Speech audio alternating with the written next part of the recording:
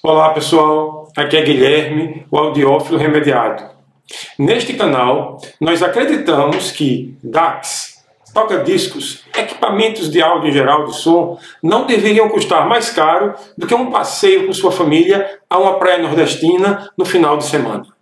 Hoje falarei um pouquinho para vocês sobre o fone de ouvido Grado SR80X Vamos falar primeiro sobre a construção do dispositivo, do, do, do fone de ouvido, tá? Vamos lá. O programa de hoje é patrocinado pelo Mousepad Virgulino. Com este mousepad, você poderá navegar na internet, usar os seus DACs, usar o seu programa de áudio sem interferências indesejadas. Esse mousepad audiófilo, ele custa a bagatela de 999 reais. Aproveitem que é preço de promoção, é promocional. Então, pessoal, é, depois de muito relutar, porque eu só posso falar do produto depois que eu escuto, eu decidi falar sobre, sobre esta criança aqui, sobre o Grado SR80X. A Grado é uma empresa americana que remonta aos anos 50. Tradicionalmente, a Grado fabricava é, cartuchos, cartuchos para toca-disco, cartuchos para toca-disco.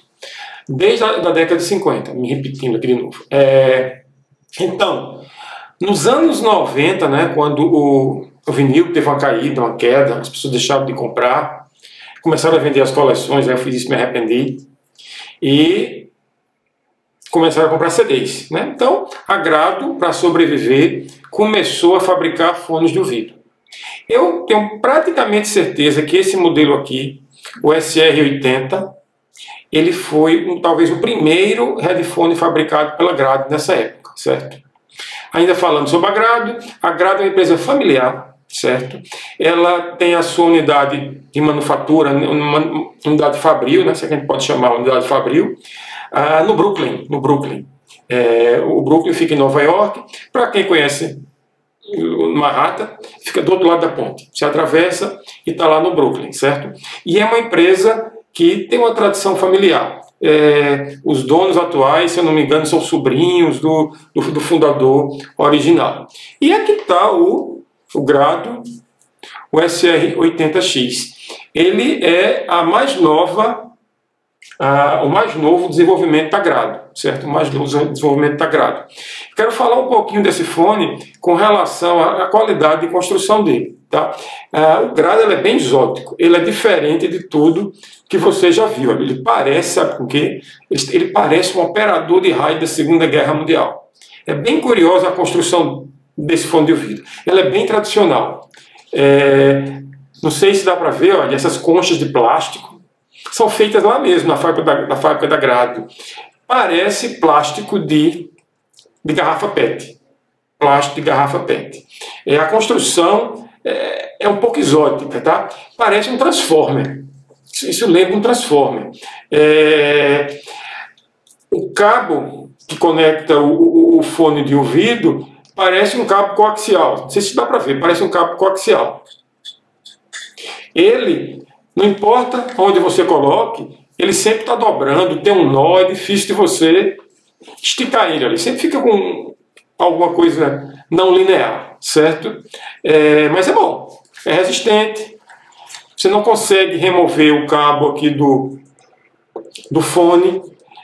A qualidade de construção lembra algo que veio de um país asiático, que não não preze por controle de qualidade. Nós temos aqui, ó, no arco dele, algo que eu acho que isso é couro. Parece que nas versões anteriores não tinha isso aqui não. Isso aqui é um avanço para grado. Às vezes eu acho que o fone vai se desmontar. Por exemplo, hoje eu estava mexendo dele, quando eu vi, ó, uma pecinha aqui, soltou. Deixa eu colocar de volta no lugar. É uma coisa exótica, exótica mesmo. Eu acho que vou colocar uma colinha, um super bonde aqui para acabar com esse problema. É, as almofadinhas, ó, são bem simples, fáceis de tirar, sem nenhuma complicação. Então, Eu diria que o grado é um fone, no mínimo, exótico. Não vai, com relação à construção, tá? Não vai esperando nada com acabamento de um Sennheiser, certo? Ou outra marca aí que preza mais pelo acabamento. Certo? Deixa eu ver left e right. Left, deixa eu colocar de volta. Vamos ajustar. Ele é confortável, certo? Ele é confortável. Então, vocês entenderam a mensagem. É, a construção dela é, no, no mínimo, diferente da concorrência. Mas encaixa bem, não dói, certo? E vocês estão vendo aqui, olha, SR80X. Parece que está de cabeça para baixo. Está de cabeça para baixo. Está aqui, ó. Espero que dê para ver. Tá certo? Então, tudo aqui o grado. Deixa eu mostrar o fim do fone dele. Aqui o conector. Vem com esse aqui, ó, um conectorzinho, um menorzinho e um adaptador. Vamos falar agora do som do grado, certo? Do som do grado. Não estou dizendo que as características do grado são depreciativas, não. Estou dizendo que é diferente. É um troço diferente esse grado. Eu nunca tinha visto um fone de ouvido ah, construído assim, tá? Exótico, no mínimo exoticíssimo, certo? Então, vamos lá. Vamos ver a segunda parte do vídeo.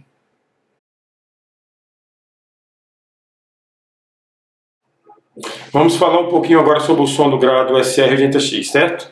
É, é aqui que a coisa muda de figura, certo? Eu vou adiantar logo, vou dar um spoiler. Eu gostei demais da assinatura sonora desse, desse produto aqui. Eu acho que é algo do tipo eu amo e eu deixo. Não é todo mundo que vai gostar, não. Mas eu achei sensacional. Eu vou até agora fazer uma descompostura. I love it, I love it. Eu amei a assinatura sonora desse desse, desse, desse, fone de ouvido, tá? É, ele é muito bom para escutar médios, médios, certo? Os, ele se pronuncia muito bom nesta região. Não acho que seja bom para grave, para os graves não.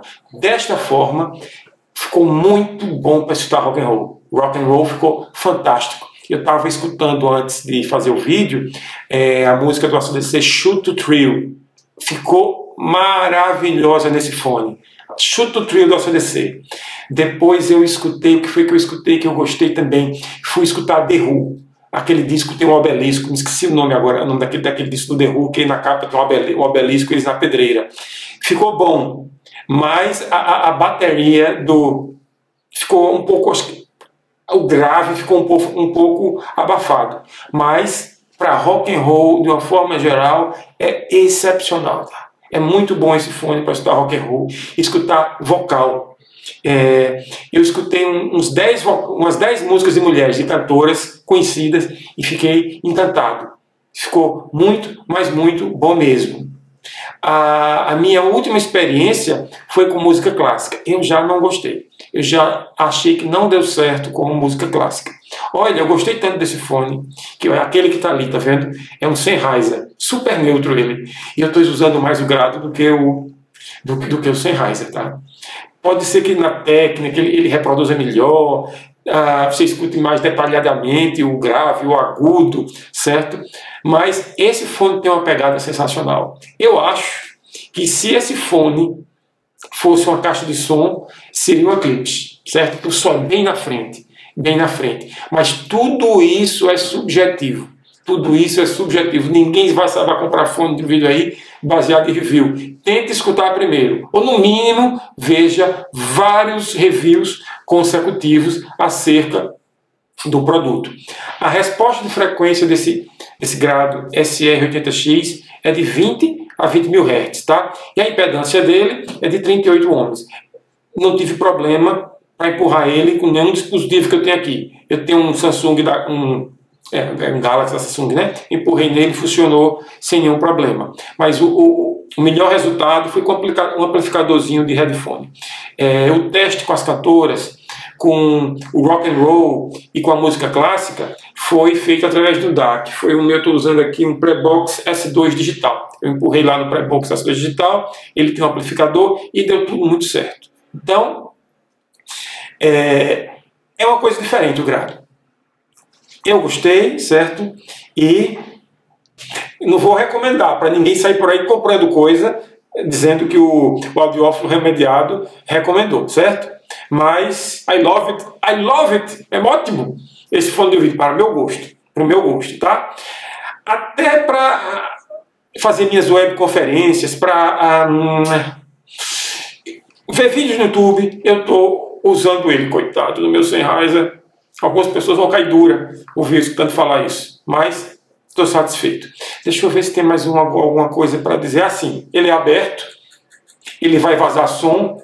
Se você quiser escutar de noite, pode incomodar a mulher, o cachorro, o menino. Então, pessoal, eu espero mais uma vez que esse vídeo artesanal tenha ajudado a vocês entenderem melhor os componentes de áudio que nós temos à venda aí no mercado. É, só mais um detalhe, comprei no Brasil. Comprei no Brasil e mais uma vez fui esfaqueado, aqui a faca entrando no pescoço. Comprei naquele site amarelo, que a cor é amarela. Eu paguei exatamente o dobro do que eu pagaria se comprasse nos Estados Unidos. Mas poderia ser pior. Poderia ser pior. Então não me, não me arrependi não, porque eu conheci um produto que eu gostei. Se você gostou do vídeo, por favor, dê um joinha, compartilhe para eu continuar fazendo. Então, tchau pessoal. Até a nossa próxima, no nosso próximo vídeo, nosso próximo encontro. Tchau, tchau.